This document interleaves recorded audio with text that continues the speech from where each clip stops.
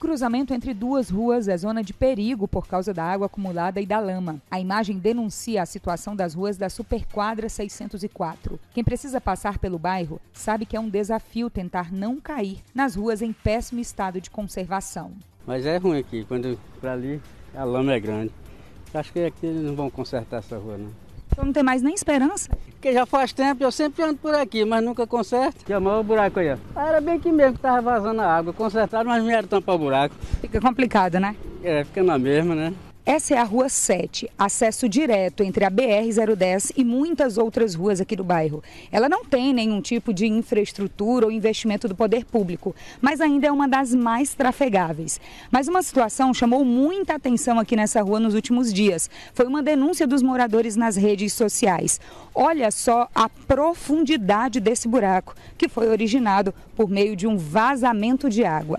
A situação é tão trágica que até virou graça entre os vizinhos. Esse vídeo viralizou mostrando o homem dentro do buraco durante o vazamento de água. O bairro até tem investimentos dos próprios moradores. A maioria das casas tem alto padrão e o bairro também é endereço de grandes empresas. O problema mesmo é ao sair da calçada e chegar nas ruas, que são um retrato da falta de retorno do dinheiro gasto em impostos municipais. Se o senhor está trabalhando, tem que andar a pé, e aí, enfrentar ruas assim?